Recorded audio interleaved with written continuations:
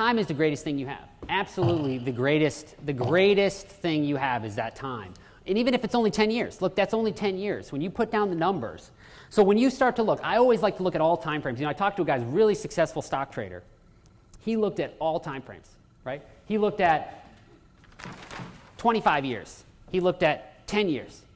He looked at five years. He looked at three years. He looked at one year.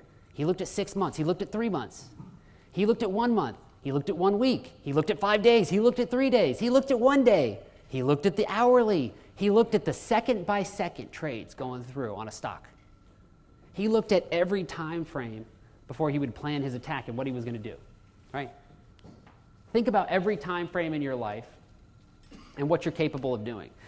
And for those of you here, yes, you should you know, do a tax plan for yourself, but you should get this business freaking going. Start piling it up, saving it away, investing it, and make something, make something happen.